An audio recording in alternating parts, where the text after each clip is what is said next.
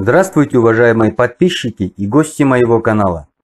Мой канал «Сделано в Казахстане» не только рассказывает об истории казахских племен и родов, но и обсуждает самые последние актуальные проблемы современного Казахстана, опираясь на историю возникновения этих проблем.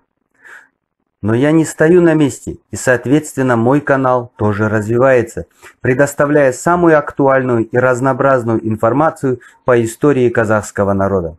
Но цель остается неизменной. Это углубление знаний по казахской истории и воспитание гордости за героическое прошлое Казахстана. Подписывайтесь на мой канал «Сделано в Казахстане», и вы узнаете здесь то, что больше в других ресурсах не показывают.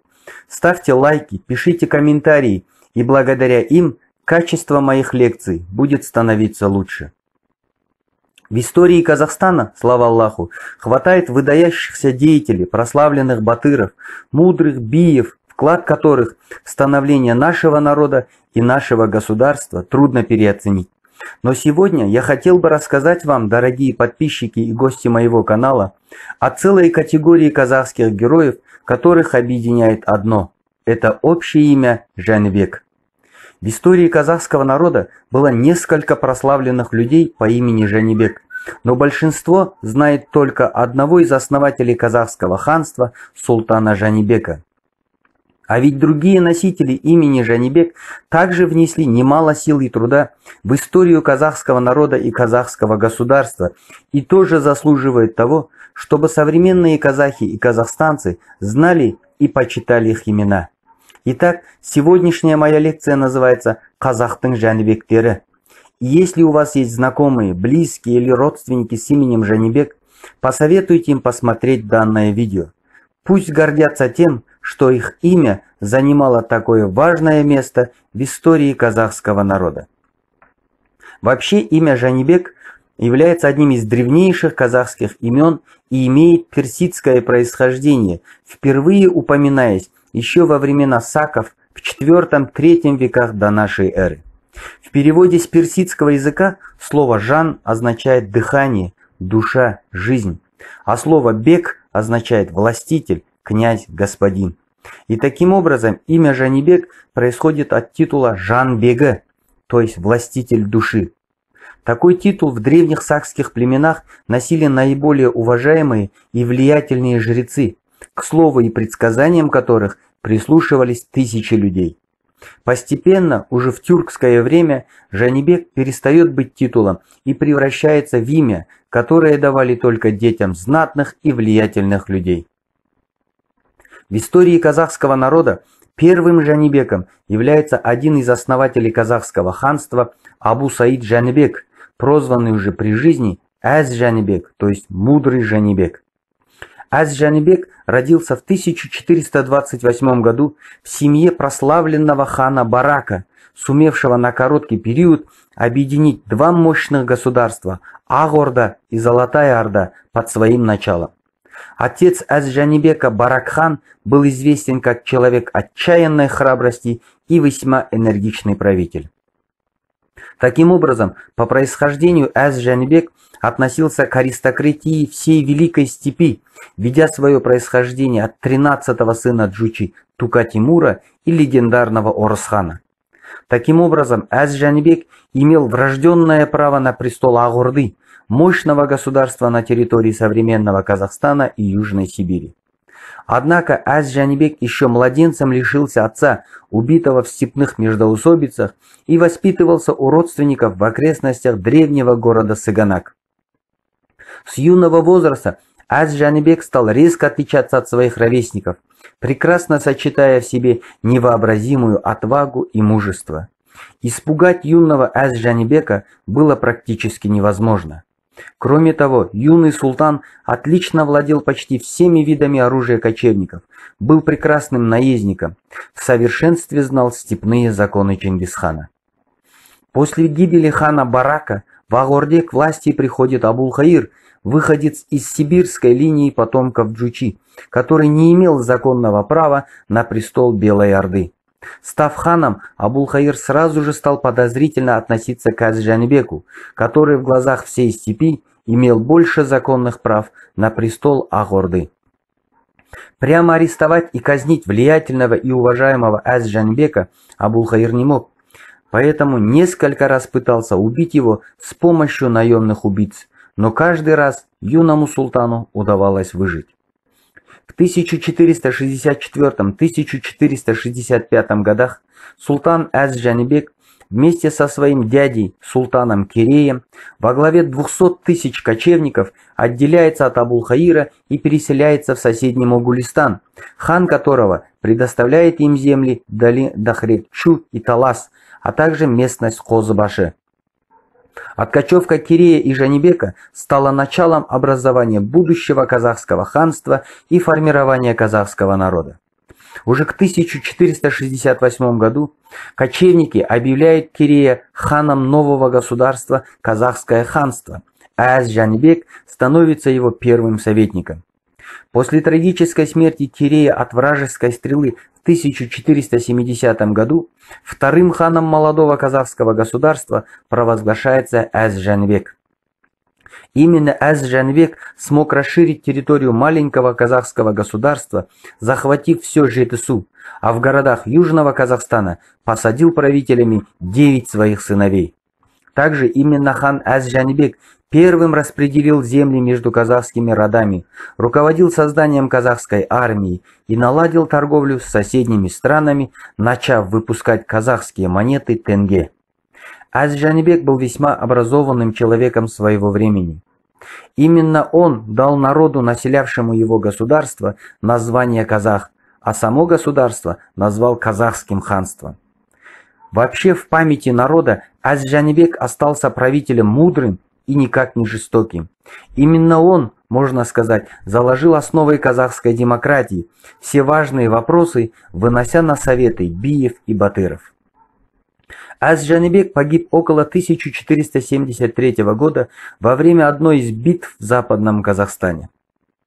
1 июня 2010 года в Астане возле музея первого президента Казахстана с участием Ельбасы Назарбаева был открыт памятник выдающимся ханам Кирею и Жанибеку.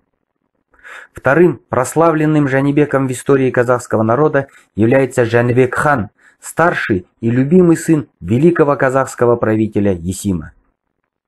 Жанбек с детства принимал самое активное участие в походах своего отца и слыл в казахской армии мастером поединка, не раз выходя победителем в схватках с лучшими вражескими батырами.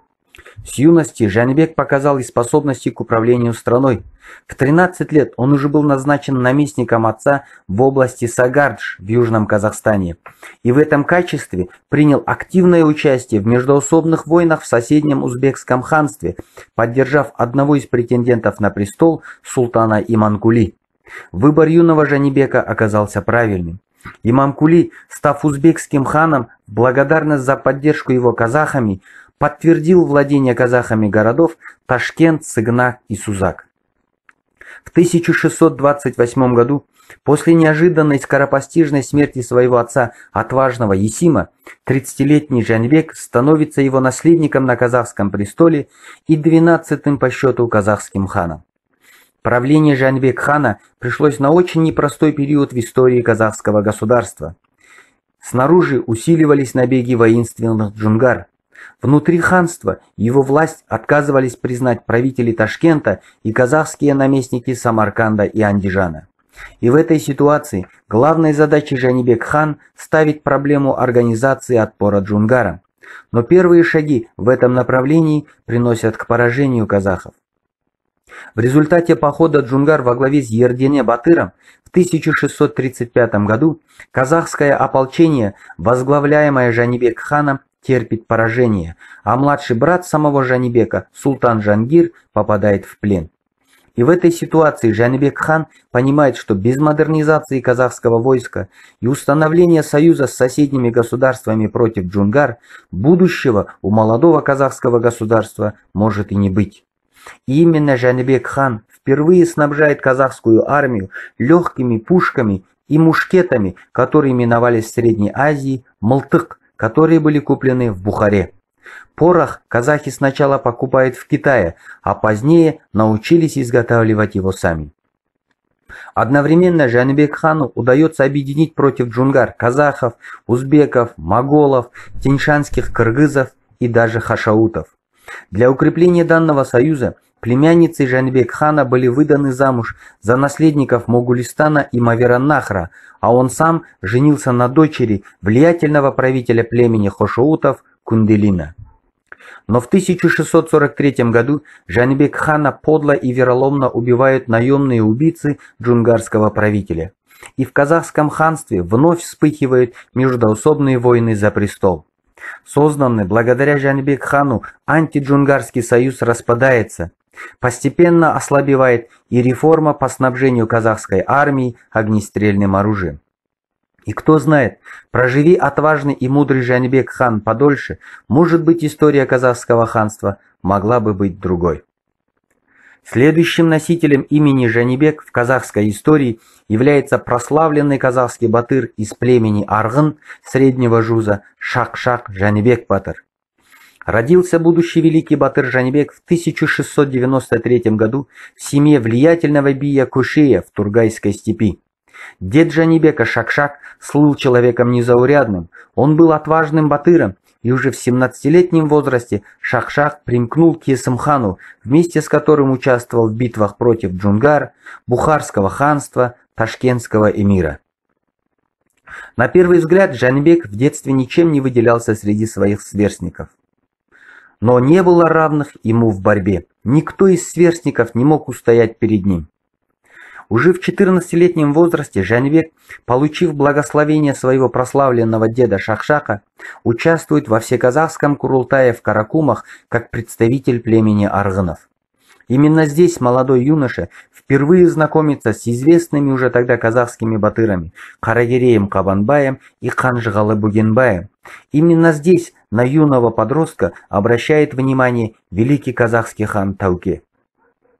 И здесь же, на Курултае, согласно народным преданиям, юный Жанбек якобы получает благословение самых прославленных казахских мудрецов Абыза из рода Карагирей, Уали Карабия из старшего жуза, Ахсакал Абыла из Найманов и прославленного Бия младшего жуза Тайгана.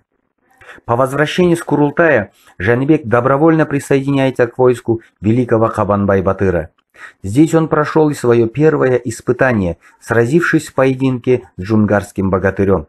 Одолев противника, он надел на себя его боевые доспехи и поднял воинов на битвы. Два года воевал Жанибек в отряде Хабанбая и заслуживает звания казахского батыра. Но теперь Жанибек Батыр решает создать собственный отряд из казахов Среднего Жуза. В 1727 году отряд Джанибек-Батыра удостаивается самых высоких похвал из уст Абулхаир хана, Батыров Кабанбая и Бугенбая в сражении при Буланты, где джунгары потерпели сокрушительное поражение. В 1729 году в знаменитом Анракайском сражении полностью развернулся военный талант Джантимек-Батыра, избранного военный совет при хане Абулхаире, Жанбек Батыру в Анракайском сражении было поручено командование левым флангом все казахского ополчения. Все поставленные задачи отряд Джанибека выполнил блестяще, а противник понес сокрушительное поражение. Характерно, что ополчение Жанбек-Батыра с момента создания в 1724 году на протяжении 25 лет непрерывных боев с противником ни разу не терпело поражения. О том, что Жанбек Батыр был выдающимся военным стратегом, говорит тот факт, что почти весь северный Казахстан был освобожден от джунгар именно его отрядом. Неизменной чертой характера Жанибека была его независимость. Спустя несколько лет после Анракайской битвы Жанибек Батыр в сопровождении верных сарбазов отправился в Каратау, чтобы встретиться с Тулеби и поговорить о судьбе народа. И Толеби, и Жанвек Батыр прекрасно понимали, что для победы над врагами недостаточно одной силы. Необходимо было обладать гибкостью ума, острым языком и хитростью. Необходимы были согласие и единство. Нужен был надежный покровитель. И Жанибек Батыр становится одним из самых влиятельных и активных сторонников заключения военного союза с Российской империей. Он неоднократно был в составе казахских делегаций в российское губерн... губернское начальство. 1740 году по ходатайству начальника Оренбургской комиссии генерала Урусова Жанбек Батыр первым среди казахов был удостоен почетного звания Тархан, которое было равно званию русского фельдмаршала. В своих представлениях в Сенат генерал Урусов и тайный советник Неплюев подчеркивали, что влиятельность Батыра Жанибека в казахской среде такова, что России следует всячески выказывать к нему признаки уважения. После смерти выдающегося хана младшего Жуза Абулхаира, постоянным соратником которого он был, Жанбек Батыр делает ставку на тогда еще молодого, но уже перспективного султана, будущего знаменитого казахского хана Аблая. Согласно народным сказаниям, именно Жанбек Батыр был первым, кто узнал в Сабалаке, который пас верблюды Тулебия, потомственного султана Чингизида Аблая. Впоследствии Жанибек Батыр принимает молодого Аблая в свой отряд. А когда в 1741 году Аблай попадает в плен к Джунгара, именно Жанибек Батыр возглавляет посольство по его освобождению. И вообще, роль Жанибек Батыра в жизни Аблая была очень значительной. Ведь не зря именно у него попросил благословения Аблай после того, как был избран главой всеказахского ополчения. О влиятельности Батыра Жанибека свидетельствует также тот факт, что сам великий Би младшего Жуза Айтике отдал ему в жены свою единственную дочь Алшин. Последние годы своей жизни Жанбек Батыр полностью посвятил обустройству территории, которую занимает современная Костанайская область, и настолько преуспел в этом деле, что все племена, которые он наделил землей на этой территории, остались искренне довольными. Жанбек Батыр умер в 1752 году в Торгае и был похоронен в Туркестане в мавзолее Ходжа Ахмеда Яссави. 14 сентября 2017 года на родине Шахшах Жанибека в Костанае был установлен памятник великому Батыру. Следующим, представителем имени Жанибек является выдающийся казахский батыр Жанибек Бердавлетула – прозванный в народе Ер-Жанебек, то есть «отважный Жанебек». Ер-Жанебек родился в 1714 году в Южном Казахстане в семье влиятельного бия из племени Керей Среднего Жуза. Рано лишившись родителей, Ер-Жанебек воспитывался в семье великого бия Каздауста Казбека, который приходился ему дядей по матери. Однажды Казбек Би увидел, что возле спящего на холме мальчика играют два матерых волка. Когда встревоженный Казбек подскакал к холму, волки исчезли, и великий Би понял, что юный Жанибек проживет удивительную жизнь. В 17 лет, получив благословение Каздауста Казбек Бия, Ер Жанибек вступает в ополчение Среднего Жуза. Всему казахскому народу Имя Жанбека становится известным в 1732 году, когда в одной из битв с джунгарами 18-летний Жанбек спасает от гибели самого Аблая, который после битвы перед всем казахским войском дает ему прозвище Ер Жанбек и вручает личное знамя из тонкого белого шелка. Это знамя, хранившееся у потомков Ержанибека, стало в 1940 году флагом национально-освободительного восстания казахов под руководством Оспан Батыра в Китае.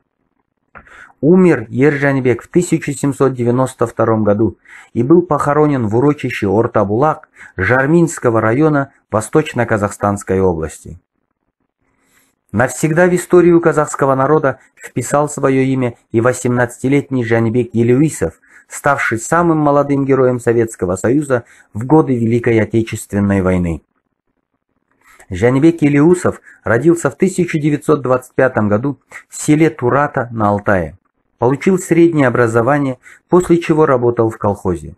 В феврале 1943 года Елиусов был призван на службу в Красную армию, окончил полковую школу и был направлен на фронт пулеметчика. Свое беспримерное мужество, отвагу и стойкость Жанбек проявил во время форсирования Днепра. 25-й гвардейский стрелковый полк выйдя к, Днепру, выйдя к Днепру, получает приказ сходу форсировать водный рубеж, прорвать оборону противника и, окружив его, уничтожить. 22 сентября 1943 года подразделение приступило к выполнению поставленной задачи. Одним из первых переправился через Днепр пулеметный расчет сержанта Жанибека Елеусова. Они сразу же попали под яростный артиллерийский и минометный огонь фашистов. На плацдарме за Днепром советские бойцы проявляли невиданную стойкость, отражая каждый день по 8 вражеских атак на протяжении почти месяца. Но силы советских бойцов таяли. И вот от всей группы советских бойцов, бойцов остался один Жанибек. Но он не дрогнул и продолжал стойко удерживать небольшой плацдарм, захваченный у противника. Глубокой ночью атаки фашистов прекращались. Тогда Елеусов набивал пустые диски и ленты патронами, расставлял в разных местах пять пулеметов с таким расчетом, чтобы враг не заметил его перебежек от одного к другому. С рассветом, когда фашисты вновь шли в атаку на позиции, занимая советским воинам, Жанибек метко разил врага, создавая видимость, что плацдарм удерживает целое подразделение. И так продолжалось четыре дня. Четверо суток без пищи и отдыха. Четверо суток Жанибек один дрался на правом берегу Днепра. Пулеметным огнем и гранатами отбивал он атаки противника и в конце вышел победителем в этом неравном бою. В 1946 году в звании гвардии младшего лейтенанта Елеусов был уволен в запас. Проживал в городе Тарас. Умер в 1996 году. Вот такие они, казахские герои по имени Жанибек. Но и в современном Казахстане носители имени Жанибек продолжали и продолжают путь народных героев и истинных патриотов своего народа и казахского государства. К ним можно отнести непобежденного боксера в среднем весе, чемпиона мира, чемпиона Азии и азиатских игр, обладателя двух чемпионских поясов, уроженца села Жиланда Алакольского района Алматинской области Жанибека Алимханулы, борца греко-римского стиля, чемпиона первых юношеских Олимпийских игр в Сингапуре, уроженца города Тарас Жанибека Кандыбаева, писателя, певца, музыканта, заслуженного артиста Казахстана, основателя кафедры народного пения в Казахской консерватории Жанибека Карменова известного казахстанского политика и дипломата, первого полномочного представителя Республики Казахстан в Организации договора о коллективной безопасности Жанибека Иманалиева, победителя многих крупнейших конкурсов дамбристов, в том числе и конкурсов «Алтын Домбра» и «Мен Казахпын», выходца из города Атрау Жанибека Жамиева, известного казахского боксера, чемпиона Казахстана 2019 года, выходца из села Жанаузен, Жанибека Бақытова и многих-многих других.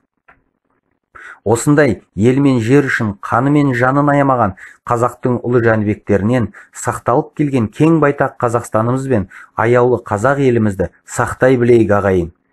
Подписывайтесь на мой канал «Сделано в Казахстане», и вы узнаете здесь много шокирующей информации. Ставьте лайки, пишите комментарии. Қазақты жамандама, жаның қазақ болса. Қазақ деген халық қой, азақ қана. Қашанда ай мен жердің үстілерінде қазақты құтқаратын қазақ қана. Сау болыңыздар.